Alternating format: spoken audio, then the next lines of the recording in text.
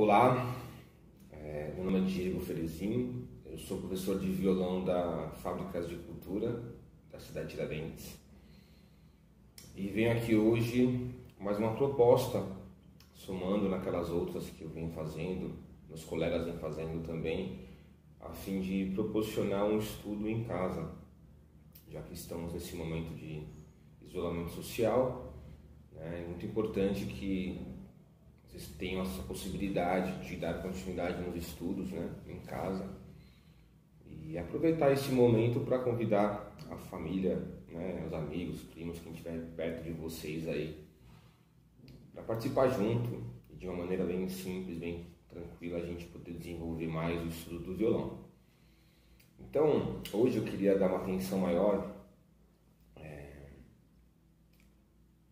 numa, num estudo bem importante né, para todo instrumento, mas no violão aqui específico, ele aparece muito e é, é bem importante a gente ter isso na cabeça, né, sentir esse conteúdo, não só entender, mas é, trata-se de sentir também.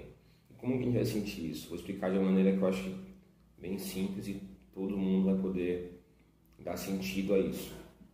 A gente falou em alguns acordes, né? Na, em algumas aulas aí, já formações de acordes. Quem já conhece é, alguns acordes maiores, menores, com sétima. Quem não conhece vai poder hoje fazer esses dois acordes e sentir isso que eu estou dizendo para vocês, que são as funções de cada acorde. Eu queria começar com a função é, da tônica, né? porque todo, todo acorde está em alguma escala algum momento, mas isso é uma, um outro estudo que não vem ao caso. Para simplificar, vamos falar de Dó maior. Né? A gente está falando do acorde de Dó maior. Então, todo acorde maior, na sua essência, ele é um acorde que é de repouso, né? um acorde bem tranquilo que te dá a tranquilidade de começar alguma coisa, né? ou terminar alguma coisa, mas ele não pede nada, ele por si só, uma harmonia bem ele dá uma sensação de estabilidade. Tem um acorde que é o acorde com sétima. Todos os acordes com sétima, eles, eles têm outra função. Né? Eles têm a função que a gente dá o nome de dominante. Essa função, ele te dá uma instabilidade. Não é como esse acorde maior que a gente ouviu aqui. Vocês façam, por favor, em casa também, né? Ele dá um conforto, uma estabilidade. O acorde dominante com sétima, eu vou dar aqui o exemplo do Sol com sétima, ele gera uma tensão, ele, ele pede um resultado. Ele não está pronto para começar nada, ele está pedindo para ir para algum lugar. E essas duas funções eu quero que fique bem claro para todos nós aqui nesse vídeo. Né?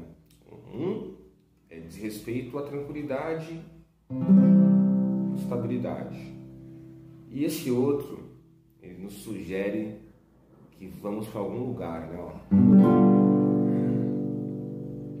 Para onde a gente vai? Justamente para aquele primeiro. A função do Dó maior, então, dentro desse campo harmônico de Dó, é a função tônica. Né? Então, o que seria essa função tônica? Essa é a função de relaxamento, de conclusão, de repouso, né? Tudo pode acontecer, ó, tá estável.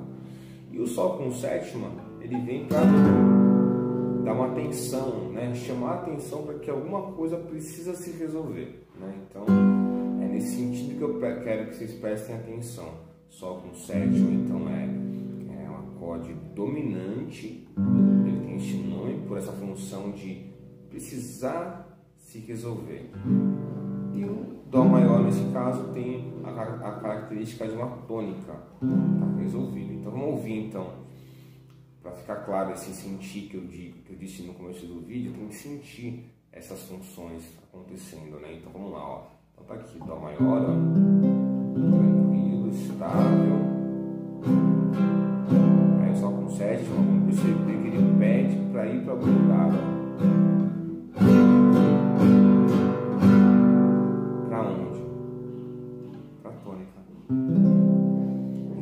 Pensar nessa dominante tônica, é uma maneira bem simples para todo mundo entender.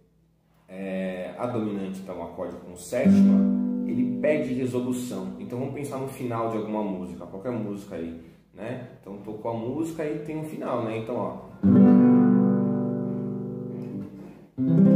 E acaba. Então é, eu acho que a função dominante tônica se resume nisso, né? Para todo mundo entender. É, procura se atentar quando ouvir alguma música, quando vai acabar a música, né? Geralmente tem essa, esse passo aí, né? De dominante para dominante e acabar. Então, espero ter sido claro nessa mensagem aqui. E quem faz os acordes de Dó em Sol com sétima, pratiquem aí. Quem não faz, eu vou deixar aqui certinho para vocês praticarem, fazer, começarem esse estudo. E puder juntar também com algumas técnicas de mão direita, né? temos bastante vídeos aí no canal da Fábrica de Cultura, onde a gente fala sobre dedilhado, né, ó, com a mão direita aqui, ó. Praticar esse dominante tônica fazendo dedilhado, né, ou então batidas.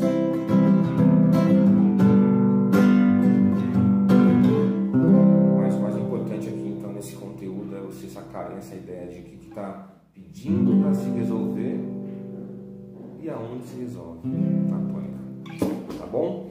Espero que todos tenham entendido. Forte abraço, até a próxima.